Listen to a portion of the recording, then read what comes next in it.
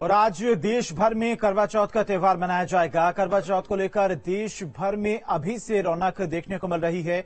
नोएडा, गाजियाबाद, मेरठ के साथ साथ प्रदेश के सभी शहरों में अलग ही नज़ारा देखने को मिल रहा है।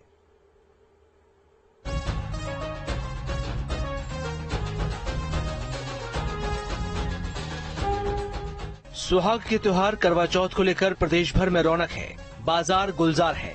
नोएडा के बाजारों में खरीदारी के लिए लोगों की भीड़ देखते ही बन रही है।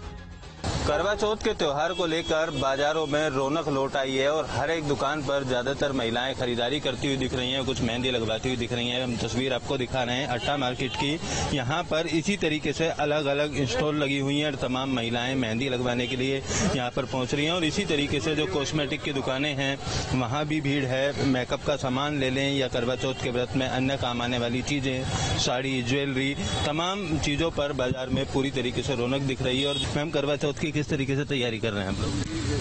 सरगी खरीदी है मेहंदी लगा रहे हैं and waiting for all the celebration to start टा मार्केट सेक्टर अठारह तमाम जगहों पर इसी तरीके का नज़ारा दिख रहा है और बाजारों में करवा चौथ को लेकर अच्छी खासी रौनक जो है वो दिखाई दे रही है। वहीं गाजियाबाद के बाज़ार करवा चौथ के मौके पर महिलाओं की भीड़ से गुलजार है।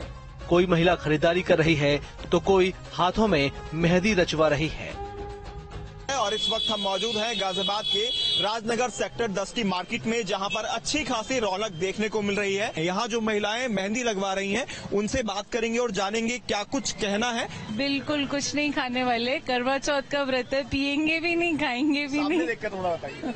हाँ जी। तो किस तरह से मेहंदी आप भी नाम लिखवा रहे हैं हस्बैंड का? बिल्कुल बिल्कुल। तो नाम भी आपके हस्बैंड भी क्या व्रत रख रहे हैं? उन्होंने मना कर दिया है and I am okay with that कुछ खाना पीना नहीं है।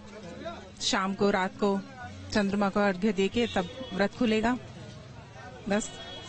अभी तो ऐसी कुछ तैयारी नहीं है। मॉर्निंग में पूजा होती है और फिर रात में वही सजना सवरना और फिर फ़ोटोज़ क्लिक होती हैं। चाँद को देखते हैं फिर पानी देते हैं जल देते हैं। इस बीच मेरठ के बाज़ार में सुहागिन महिलाएँ त्योहार को लेकर तरह तरह की खरीदारी कर रही हैं। बाज़ार भीड़ से पटे पड़े हैं। किसी भी शहर में आप उत्तर भारत के चले जाएँ बाजारों में कुछ इस तरीके की रौनक ही आपको दिखाई देगी।